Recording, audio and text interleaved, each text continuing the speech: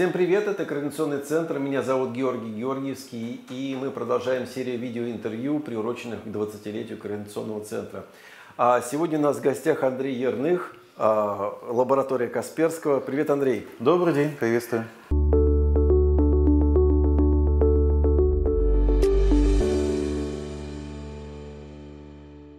Достаточно известная медийная личность, на всех э, интернет-мероприятиях отраслевых э, участвуешь, представляешь э, компанию. А, скажи, пожалуйста, вот с чего началось вот такое вот э, активное э, представление и э, себя, и лаборатории Касперского в общем открытом мире? Когда вообще все случилось? А, ну, скажем так, а, моя в достаточной степени активная работа с а, пространством сети интернет началась в 2001 году. Хотя, в принципе, я пришел в лабораторию Касперского из компании Port.ru, которая в тот момент была, скажем так, была частью и потом в дальнейшем стала частью проекта Mail.ru. То есть как бы некая такая преемственность от э, интернет-проектов у меня была с собой. Вот. Э, это оказалось востребовано в лаборатории Касперского, и, собственно говоря, мне было поручено э, заниматься развитием электронных продаж, интернет-продаж в лаборатории Касперского в сети интернет. Это было достаточно интересный вызов для компании, потому что до этого коммерция велась только классическим способом, продажи коробок. И тут вдруг интернет-пространство, в котором нужно было осваивать, понимать, каким образом продвигать программные продукты, делать их интересными, привлекательными. Ну и в принципе нужно было решить э, необходимые проблемы, связанные с тем, как э, лицензию, уже в данном случае не коробку, а лицензию доставить до конечного пользователя, вот, чтобы он, соответственно, ее принял, получил и дальше мог использовать без всяких ограничений. Интересная задача, мы ее решали совместно с компанией SoftKey в тот момент. Mm-hmm. Вот. Ну и это было связано еще с тем, что проекты на самом деле были очень интересные в сети интернет. Это все было вновь для нас. Вот. Э, и мы так вот вышли на, соответственно, и на координационный центр домена РУ, соответственно, доменное пространство мы не могли никак обойти, потому что это было важным направлением. Вот. Э, вышли на РАЭК, вышли на РАЦИТ, то есть как бы вот эти э, организации, которые сейчас считаются, считаются уже можно назвать классическими для сети интернет, но тогда они были фактически молодые инициативные проекты, которые только набирали свой багаж а, активностей и проектов. Вот. И мы, в общем-то, совместно так, с некоторым удовольствием вписались в эти инициативы, потому что ИФы уже тогда шли вовсю, мы к ИФам вот, э, с удовольствием подключились, э, постарались привнести туда какие-то элементы образовательного с точки зрения информационной безопасности. Вот. А, соответственно, в повестку включить. А, были интересные проекты, связанные с... Вот у меня, допустим, мне запомнился, и он стал для меня определенной отправной точкой, это проект, связанный с антивирусом онлайн. Потому что тогда это был интересный вызов, надо было придумать, каким образом сделать онлайн-проверку а, файлов для пользователей. Мы это фактически рассматривали как инструмент продвижения. Попробуй купи. Вот как бы вот попробуй убедить, что у тебя там с одной стороны нет вирусов на компьютере или на прикрепленных файлах или в почте. Вот. А с другой стороны, если ты их нашел, то купи сразу. Понятно, что мы сразу сделали, такой мостик перебрасывали. Вот. А если не нашел, то это ничего не гарантирует, что все равно можно дойти в сети интернет. Сеть интернет достаточно степени агрессивнее. Вот. И тогда стояла задача сделать проект вот именно антивирус онлайн, э, который оказался э, неожиданно сложным. То есть я пришел сперва к нашим ребятам, сказал, ребята, есть такая идея, давайте сделаем антивирус онлайн. То есть это все просто. То же самое антивирус, но просто вот движок, который дает вердикты в сети. Мы сказали, да, задача интересная. Ну, э, месяца полтора-два, ну, это если, вот, если, это если тебе удастся доказать вот прям коммерческую целесообразность, а так фактически у нас там все расписано, и это все может через полгодика заходить, в общем, называется. Я говорю, ребят, все понимаю, полгодика не могу подождать, давайте я попробую поискать это на аутсорсинге. Вот. И мы сделали проект фактически, по-моему, даже меньше, чем за две недели. По-моему, за неделю мы сделали совместно с Рамблером. Потому что Рамблер мне удалось заинтересовать, объяснить, что вот это, смотрите, как это здорово. Вот. Опять-таки интернет-тусовка помогала, потому что все друг друга знают, все, все тоже загорались в тот момент очень быстро идеями, словами, что типа, ух ты, а давай попробуем. Вот. И они фактически сами довольно быстро, сами для себя, мы предоставили там со своей стороны антивирусную составляющую, они со своим комплексом знаний по интернету написали такой вот антивирус онлайн, который на Рамбле достаточно долго работал, помогал пользователям, спасал их. Одновременно в параллель с этим, но это был не рекорд на самом деле две недели, на самом деле рекордом э, по антивирусу онлайн – выполнил один из маргинальных ресурсов, который занимался чуть ли не порнографией у себя в этом самом. И мы тогда у себя подумали, еще долго думали, сто имеет ли смысл связываться с таким маргинальным. Но кто-то из маркетологов сказал, что, ребята, это же те, кто фактически ловит вирусы просто через одного. Вот эти всевозможные торренты, вот эти всевозможные скачивания сомнительные, это вот именно сомнительный контент. Ну пусть попробуют, если они такие смелые. И мы им тоже дали возможность написать, дали нашу, соответственно, антивирус составляющую. Они написали чуть ли не за полтора дня. Ну, на сервере, но правда туда же повесили, на наш, на наш сервер попытались повесить спам-рассылку, которую мы убили сразу же, что называется. Они попытались свою value дополнительно на этом получить. Но тем не менее, несколько лет мы вот этот маргинальный ресурс защищали э, нашим антивирусом, просто исходя из того, что и им тоже нужна защита. Вот. Но, кстати, имеет свой определенный интерес, потому что оттуда приходили пользователи, покупали лицензии. То есть они все-таки оказались не просто продвинутыми пользователями сети интернет, но они оказались и платежеспособной аудиторией, которая не просто там, покупала контент э, такой сомнительный в сети интернет порнографический, но и покупала антивирус, вполне себе добросовестно покупал антивирус, защищая свои рабочие места. Вот, так что проекты такие вот связанные с антивирусами были на тех этапах, довольно интересными, перспективными. И, в принципе, дали нам возможность продвигаться в сети интернет. Фактически получается, что в этом году не только 20-летие Координационного центра, но и фактически 20-летие твоей деятельности ну, на антивирусном да, я с 2001 года в компании, да.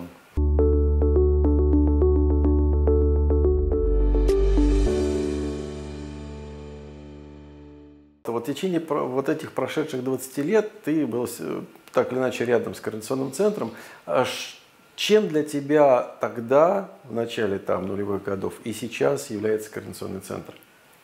А даже, может быть, больше эмоциональная составляющая. Что здесь? Ну, вот у меня первое такое впечатление, которое у меня осталось от эм, общения с координационным центром, оно не первое, потому что потом оно многократно подкреплялось на самом деле, это э, определенное чувство дружелюбия и партнерства. Потому что в тот момент, я помню, у нас был такой кейс, на самом деле он тоже не очень известный у нас в компании, мы чуть было не упустили домен Касперский. То есть у нас в какой-то момент именно при передаче дел забыли продлить этот домен. Человек, который там уходил, ну вот, э, просто не, оставил, не передал свои дела. И мы в какой-то момент получили сигнал как раз от, э, я не помню, это был координационный центр, ну, в общем, по доменному направлению получили сигнал, что у нас домен потухает фактически. То есть вот еще немножко и приостановится его делегирование. Вот. И если мы не продлим, то он может вообще освободиться дальше. Я помню, как мы тогда носились просто взмыленные, потому что срочно нужно было найти каким-то образом переслать деньги, вот просто одномоментно это сделать, чуть ли не наличку вести, вот, для того, чтобы продлить этот домен, чтобы он не ушел. То есть тогда уже домен воспринимался как ценность, и все прекрасно понимали, что упускать такие брендированные названия невозможно. Потом это многократно подтверждалось, потому что стали появляться новые домены, стали появляться новые доменные пространства. Вот. И уже вопрос э, о том, что компании нужно защищать свой бренд в этих новых открывающихся доменных пространствах, возможностях. Там мы уже стали, соответственно, к этому относиться ответственно и, соответственно, стараться а, ну, за, закрепить за собой хотя бы те основные, которые, в которых мы видим перспективу. Сейчас, мне кажется, это просто уже невозможно, судя по тому количеству доменов, которые присутствуют вообще разных доменных пространств, но тем не менее слово Касперский мы по-прежнему относимся трепетно и стараемся в максимальной степени его э, защитить и воспользоваться правами там, преимущественного регистрации, предварительной регистрации и, соответственно, держать эти домены за собой.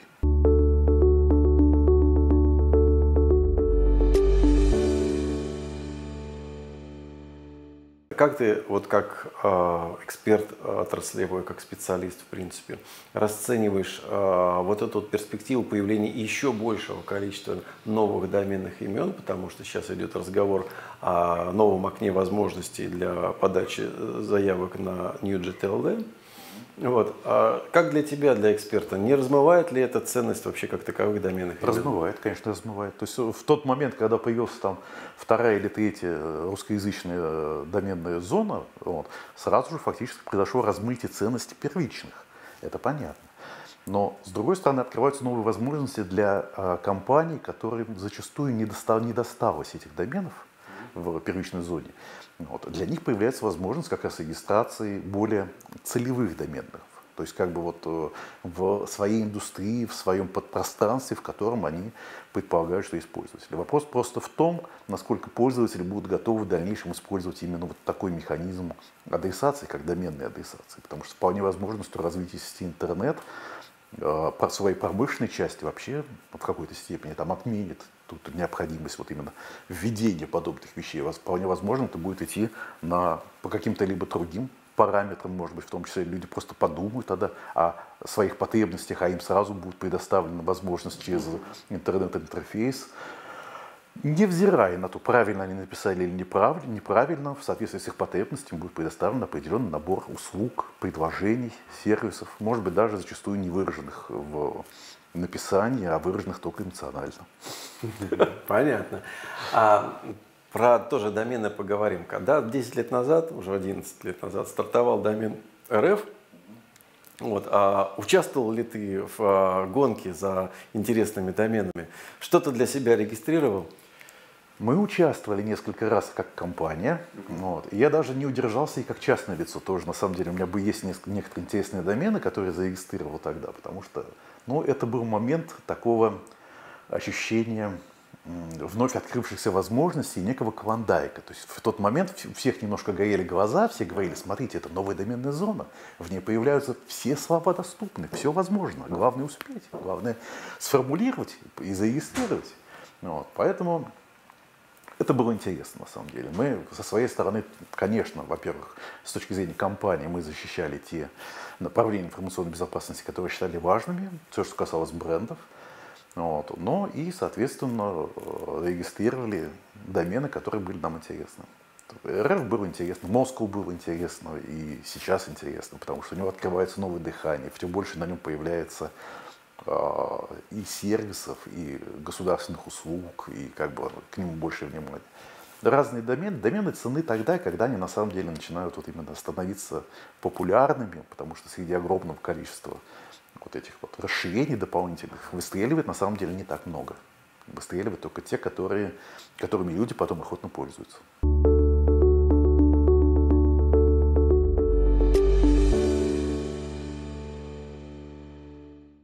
Вот ты сейчас участвуешь достаточно активно в работе Координационного центра в качестве эксперта в разнообразных рабочих группах а, по разным направлениям деятельности, в том числе по группе, а, связанной с универсальным принятием. То есть это о том, от кириллической почты, заканчивая возможностью авторизации при помощи интернационализированных символов.